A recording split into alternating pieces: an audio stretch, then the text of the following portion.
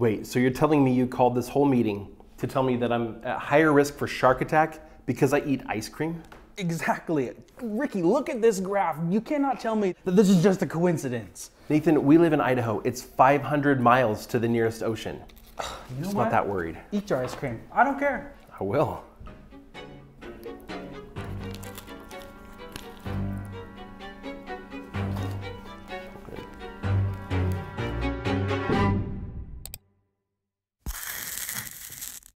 A few years ago, Jim and I actually did a study where we looked at a whole bunch of blog content and the amount of traffic that it got. And what we found was that our longer blog posts on average actually brought in more traffic.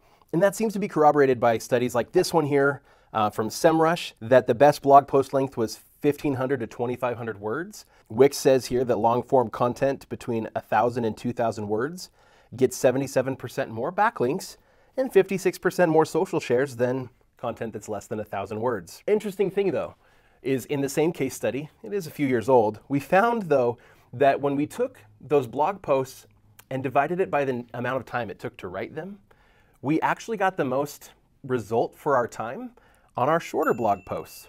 Now, to be fair, for us, a short blog post is over a thousand words. Uh, at the time, it was 1,350 words. So I, I guess it kind of agrees with the studies, but it kind of doesn't.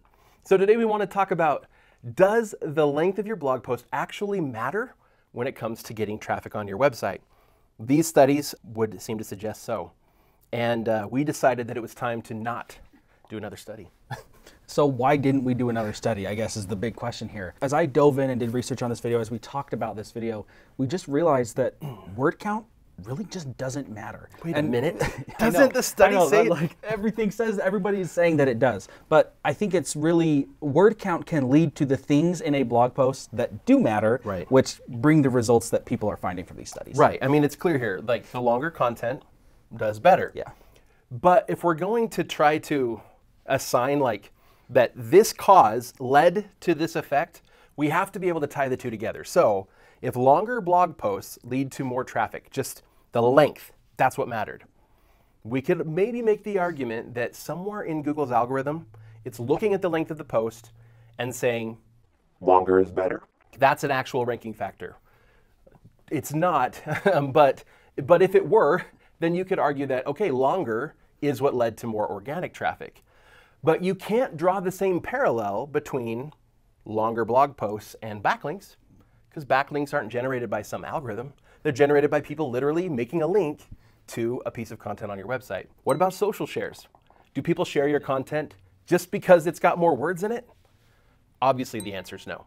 So there's got to be something else that's correlating with the length of a blog post that's actually leading to the more social shares, the more um, backlinks, and the better organic traffic. So that's what we're going to talk about in the rest of this video. And just like eating ice cream and sharks may have some connection, uh, it, things aren't always what they seem. Uh, but let's dive into. You know what I think it is like because we don't get shark attacks in Idaho. Right. It's probably because we have potatoes. Yeah, I think sharks are scared of potatoes, right? They must be because otherwise we'd have shark attacks That's in right, Idaho. of course. The next part of this video is we just want to tell you, okay, well, if word count doesn't actually matter, well, what do you do about that? How do you know how much to write for a blog post? Because there are so many different topics in whatever your niche might be, and it's important that the amount you write matches the query. So word count does matter, but it should be different every time.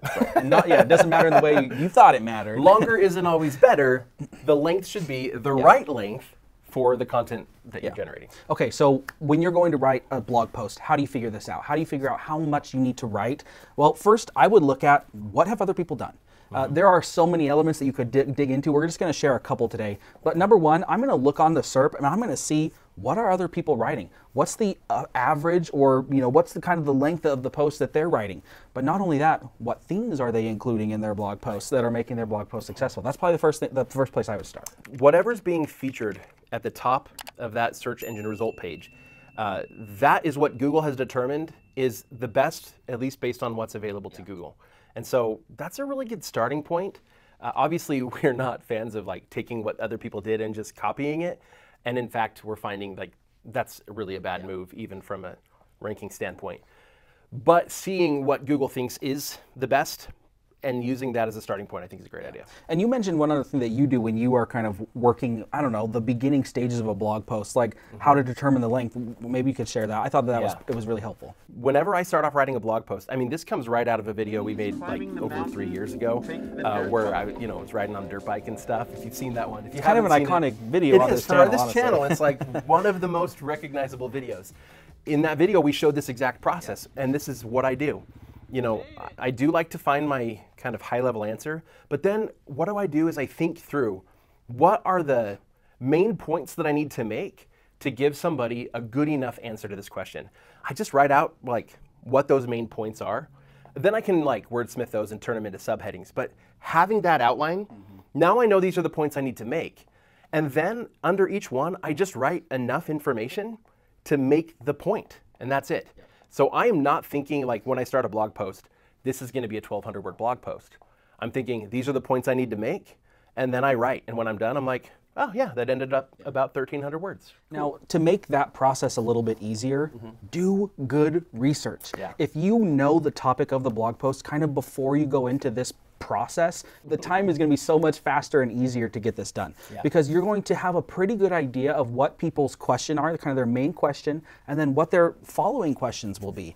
Now, if you're just brand new to all this, that's totally okay. Uh, you can still do this, and even if you're not brand new to this, but you're brand new to your niche, um, just get out there and do that research. Another thing that I love now, we don't talk about AI a ton on this channel, but something that I do love to use AI for is idea generation.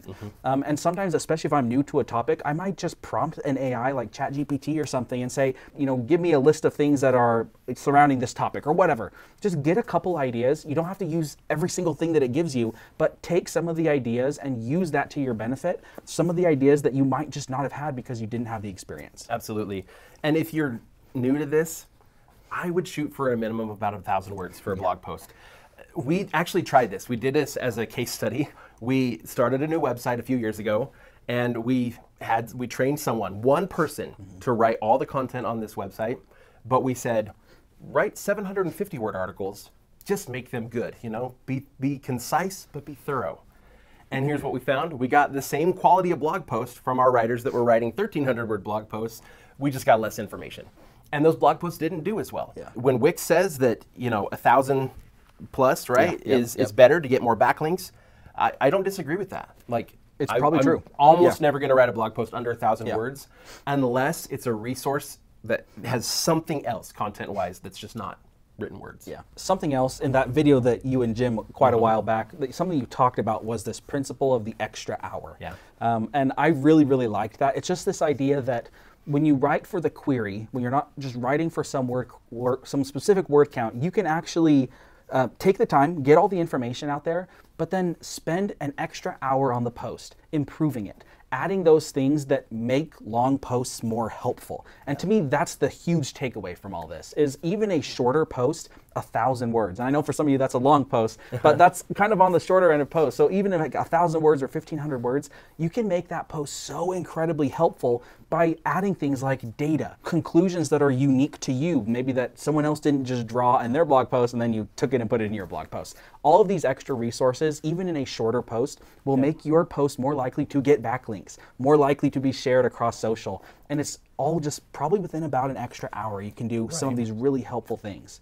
So some examples of additional resources you could add. Some of them in an extra hour, some of them might take a little bit longer. For example, a longer one would be making a video that helps to illustrate some of the more visual elements of the blog post. If you're telling someone how to do something, more often than not, a video clip is going to work way better than even photos um, paired with words. So you can give the instruction in words and even have photos, but then if you could just have a video clip showing it to them real quick, it doesn't, we're not talking about like, you know, amazing cinematography or anything like that. I'm talking about literally like putting your phone on a little tripod or something that can hold it, point it at your hands while you do the thing that you're trying to explain to them.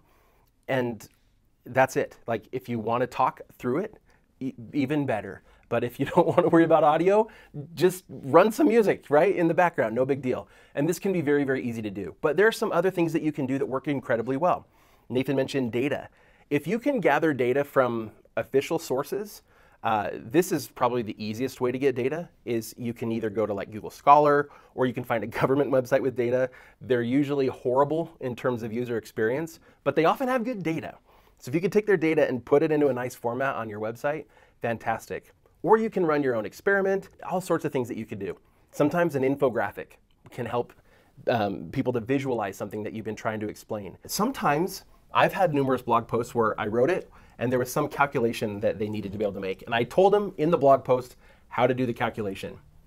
And then I embedded a little calculator that does the calculation where they just input the fields and it calculates it for them. Those additional resources often will take an extra hour, mm-hmm. sometimes even less. Yeah, and a lot of times these resources that you add, you may not be the first one to ever add this resource to this mm-hmm. specific blog post on this specific topic, but it really doesn't matter. If you are doing it from your unique perspective, we've talked about so much lately, the value of us bloggers is that yeah. we bring unique value and perspective, not just rehashing everything that's already out there. Yeah. And so if you do a, a, some research study or you collect data and your data is a little bit different, you have all of a sudden added something unique and new to the internet that just wasn't there. And so even if the current number one ranking article already has a data table, you could do your own research study and prove them wrong or find out that it was very similar. Either way, you're adding that value for the reader. One thing that bloggers are really good at is taking data that somebody's mm-hmm. generated and citing it over and over and over yep. again without actually verifying anything. Yep. And it's not uncommon for the data either to get changed or for the original study to have been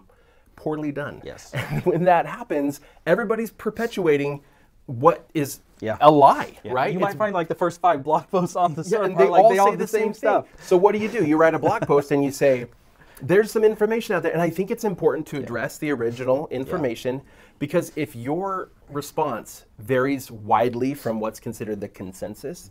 Google might think, no, but the consensus is more likely to be correct, and you might not ever rank. So it's important to address it. Like, there's this data out there that exists. I found it very questionable because of my own experience. So I ran my own test, or I did my own study, or I found government data, or whatever it is. And boom, now you present your information, and now you're an authority because you did the real work. And all those bloggers that went and gathered that data from somebody else, now they're all going to quote you. And for all of you guys who are Project 24 members out there, you all know what we're talking about. This is something that is pretty commonly addressed within Project 24. But go into phase four of the blogging system and check out the lessons on staple posts. There's multiple lessons talking about various types of staple posts. Now, you've probably already been through them, but Go through them again, but thinking through the lens of a shorter post. Take some of the concepts and the principles that we teach in those lessons and apply them to your shorter posts so that you can grab this super value and cram it all into those shorter posts. Awesome. And for all of you who are watching, I'd love to hear from you. What are some of the resources that you've put in your blog posts?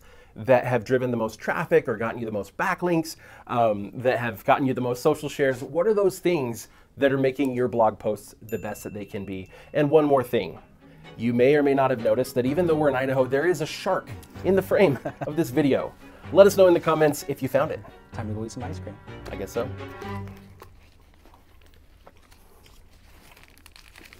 He's not attacking, so. Yeah, we're safe for now. I think so. I like the Neapolitan ones mm. with the chocolate. It's vanilla. like three little yeah, it's like three sandwiches. Ice cream sandwiches. and the price is right on these. Oh yeah. It's like what, two fifty for a box of twelve or something. They're so cheap. And let's be honest, they're not that great, but better than nothing. They're so convenient. They are like, convenient. Yep. You don't have to scoop it out uh-huh. into a bowl or anything. Yep. You just unwrap it and eat it. I wonder if anyone will watch us eat these entire things. I don't know you're still watching, let us know in the comments. How many bites do you get out of an ice cream sandwich? I don't know. I, I ate half of mine in the intro. Yeah, so I didn't, I didn't think about mine until now. So it's too late. I know how few bites I can have. Somewhere between one and two. One and two. Plus a brain freeze.